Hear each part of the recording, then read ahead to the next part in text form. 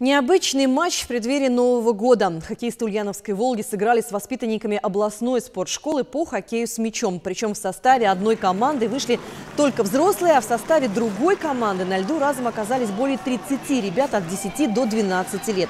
В таком формате, предложенном пиар-службой клуба, игра проходила впервые. Ну а цель понятна – уравнять шансы команд и дать юным спортсменам фору игре со взрослыми.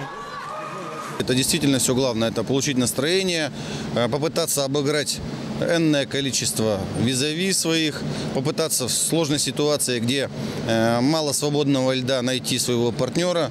Это нужно было делать. Это не только э, веселье, но это и техническое оснащение игроков. Ребят поздравили по-своему, ну, скоро Новый год.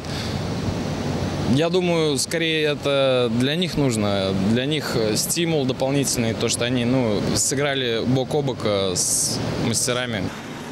Само собой, мастера не били по мячу изо всех сил и не включали максимальные стороны. Напротив, хоккеисты основного состава «Волги» действовали максимально аккуратно, а порой и в чем-то помогали совсем юным соперникам. Мальчишки же опытных соперников не жалели, отправив в ворота главной команды региона три мяча. Ну а команда Суперлиги на сей раз ушла со льда без забитых мячей. Да и как забить, если при угловом на бьющего выбегает три десятка хоккеистов, пусть и совсем юных. Конечно, они поддавались, потому что если играли бы в полную силу, мы бы, конечно, не победили.